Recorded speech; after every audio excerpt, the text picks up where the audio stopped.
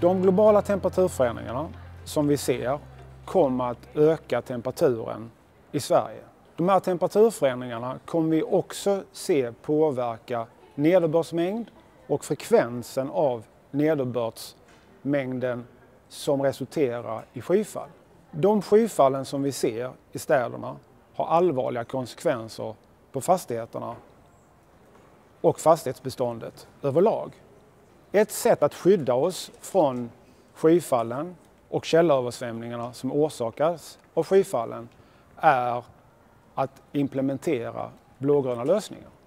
Men för att lyckas implementera blågröna lösningar i staden så är det helt centralt att vi samverkar mellan de olika aktörerna som har rådighet att jobba med implementeringen. Och då spelar fastighetsägarna, kommunen och VA-ägarna en väldigt stor betydelse.